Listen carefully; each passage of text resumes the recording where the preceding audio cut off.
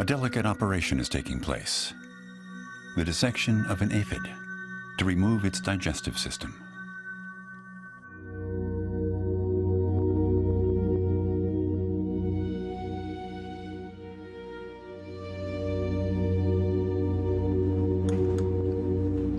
Professor Fukatsu is searching here for a very specific type of cell. You can see in the aphid body, there is a special cell called bacteriocyte.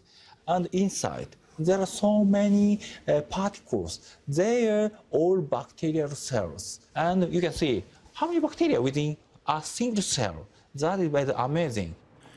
Each of these red dots is a living microorganism, autonomous with its own DNA, and which has found what it needs to feed and proliferate inside the aphid's intestinal cell. Invisible to the naked eye, this microbe, dubbed Buchnera, measures just three microns, three thousandths of a millimeter.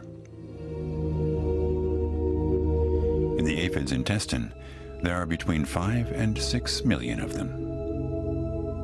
Why so many bacteria within the cell, within the aphid body? The reason is this bacteria provides the aphid with essential nutrients called essential amino acid. So if removing this bacteria by using antibiotic from the insect, the aphid suck the plant juice, but they cannot grow because they cannot synthesize proteins without this bacteria. So this uh, bacteria is really nutritionally very important.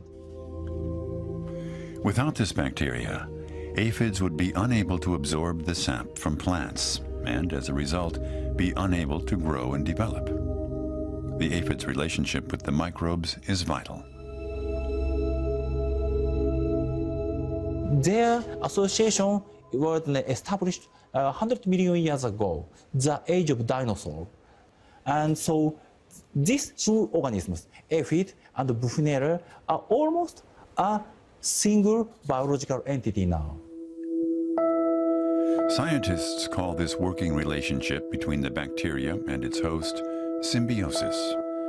And sometimes such collaboration can be extremely close.